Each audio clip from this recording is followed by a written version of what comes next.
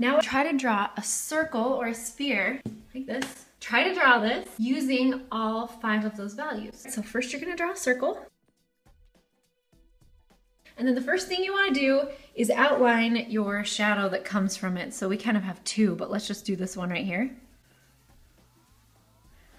And that's actually not our darkest dark. It might even be our medium tone, but if I blur my eyes, it's in between these two. So I'm just going to add those values really quick. And there's something I want to talk about really quick right now, and it's the difference between direct light and reflected light. So direct light is like light that would come from the sun or from a light in your house, a lamp, and reflected light would be light that bounces off of something back into it. So there's light on the table right now that's coming from my window, but it's bouncing up right onto this sphere right here. That's reflected light. I like to just draw a crescent right here. Now look at that sphere and tell me where the darkest shadow is. If you look at it, can you see how the darkest shadow might be somewhere in there? Just like they did on this. It's nice to kind of outline some of your shadows, so I'm just gonna put this one in right here. And I'm gonna show you something that one of my professors would not let me use, but I'm still gonna show it to you because I think it's helpful and it's a really quick way to shade. If you can't see your outline anymore, you might just want to drop it back in. Here comes the trick. Grab a tissue or toilet paper, or if you have fancy blender stumps, I just want to make sure I've got these shadows where I want them to be. And then you can take this, you can either use your blender stump, toilet paper, tissue, roll it up, you blend it together. This may not come all the way around.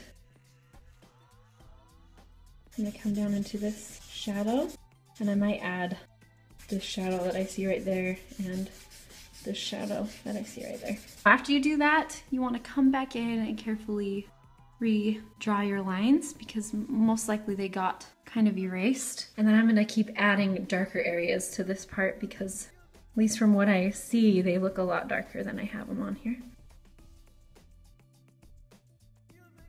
Seems like this might need to be a little bit darker. Now I can see reflected light that it kind of got smudged out in here. So I'm just gonna use my eraser and I'm gonna erase out some of that reflected light. And after I erase it, I'm just gonna try to blend next to it again. Um, you can look at yours and you can, like the shadow I think needs to come up a little bit more onto my sphere. You always have to remember that your lines can get just smudged out. So there's a really quick introduction into drawing using values for beginners. I know you can do this. I'm gonna show you some examples from my students, but they did these today. Some of these students are four, some of them are 12. So their ages range. I hope you enjoyed this introduction into value.